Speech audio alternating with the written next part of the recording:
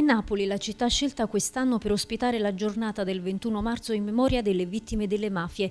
In corteo da Piazza Garibaldi fino al plebiscito ci saranno lunedì prossimo scuole, associazioni, cittadini, rappresentanti delle istituzioni, insieme per gridare basta all'indifferenza e ricordare con i familiari i nomi di tutte le vittime innocenti. Il tema della legalità è uno dei grandi temi che debbono essere sempre al centro di tutte le nostre azioni, sia delle piccole azioni quotidiane che dei grandi progetti per Napoli Napoli e la scelta di Napoli come luogo per la giornata nazionale, questa grandissima e bellissima marcia rappresentano per noi un evento simbolico fondamentale, di grande impegno su questi temi e la città in prima linea. Si parla di più di 200 pullman che arriveranno qui, di scolaresche, di, di, di, di familiari delle vittime e abbiamo lavorato intensamente in sinergia con Libera perché l'organizzazione dell'evento ehm, fosse seguita con grande efficacia. Napoli è fulcro della manifestazione promossa da Libera e Avviso Pubblico, ma in tanti luoghi d'Italia simultaneamente si sfilerà contro criminalità e corruzione.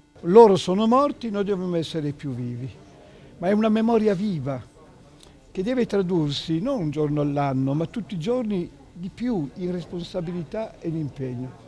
Il mio modo è quello di viverli, impegnandoci noi non a fare degli adattamenti nella società, ma dei cambiamenti profondi e veri. Oggi le mafie sono tornate più forti di prima, si sono globalizzate, usano altri tipi di sistemi, se ne parla di meno, si è creato un clima di normalizzazione nel paese. Io mi auguro di essere presti immuni dal virus, ma non dalla responsabilità che abbiamo di essere cittadini non in intermittenza, ma cittadini veri.